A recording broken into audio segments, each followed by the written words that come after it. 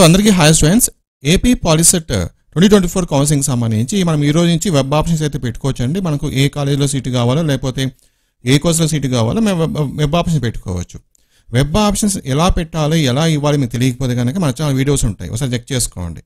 Step by step process explain చేసి నేను video చేశాను అనమాట ఓకేనా? మన వీడియోలో కాలేజ్ వైజ్గా ఓకే సో ఏపీలో ఎన్ని కాలేజెస్ ఉన్నాయో సో అన్ని కాలేజెస్ కాలేజెస్ వైజ్గా ఆ కాలేజ్లో ఏమేమి కోర్సెస్ ఉన్నాయి? ఓకే? ఎన్ని సీట్లు ఉన్నాయి అలాగే ఫీజు ఎంత? ఈ విధంగా కాలేజ్ వైజ్గా తెలుసుకుందాం. సో మీకు ఈ వీడియో అనేది చాలా చాలా చాలా చాలా యూస్ఫుల్ అవుతుంది.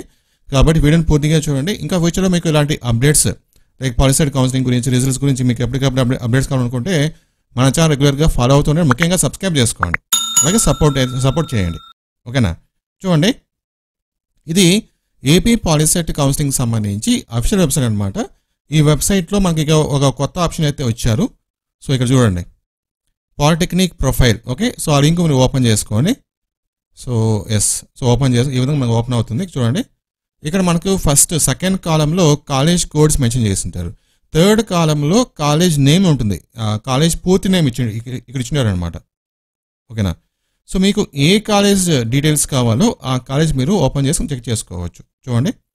ఓవరాల్గా మనకు పాలిటెక్నిక్ సంబంధించి ఏపీలో చూడండి. Two hundred sixty three colleges అయితే ఉన్నాయి. ఇందులో గవర్నమెంట్ కాలేజెస్ ఉంటాయి అలాగే ప్రైవేట్ కాలేజెస్ కూడా ఉంటాయి. అది మీ ఇష్టం. మీకు గవర్నమెంట్ కావాలా లేకపోతే ప్రైవేట్ కావాలా మీరు చెక్ చేసుకోవచ్చు అనమాట సో గవర్నమెంట్ ప్రైవేట్ మాకు ఎలా తెలుస్తుంది ఇక్కడ చూడండి. మీకు చూపిస్తాను చూడండి. ఇక్కడ చూడండి. ఇక్కడ చూడండి. టైప్. ఓకేనా? సో టైప్ దగ్గర పీవీటీ ఉంటే ప్రైవేట్ కాలేజ్ అది. జిఓవి ఉంటే గవర్నమెంట్ కాలేజ్ ఓకేనా? ఫర్ ఎగ్జాంపుల్కి ఇక్కడ చూడండి. నేను ఇది చూపిస్తాను మీకు. అనపర్తి అనపర్తి.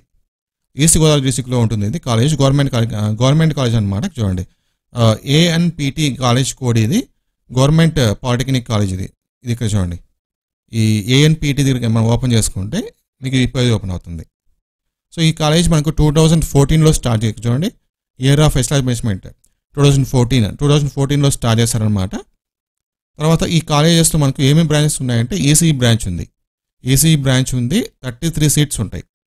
ఆ కాలేజ్లో కాలేజ్ ఫీజు వచ్చేసి ఫోర్ థౌజండ్ సెవెన్ హండ్రెడ్ అనమాట అలాగే ట్రిపుల్ కూడా ఉంది మెకానికల్ కూడా ఉంది.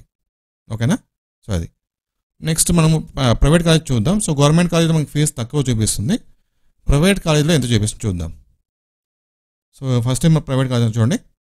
ఆదర్శ్ కాలేజ్ ఆఫ్ ఇంజనీరింగ్ ఇది ప్రైవేట్ అనమాట సో ఓపెన్ చేసుకుందాం. చూడండి. ఈ కాలేజ్లో మనకి ఏమేమి కోర్సెస్ ఉన్నాయి అంటే ఇది టూ థౌజండ్ ఎయిట్లో స్టార్ట్ చేశారు.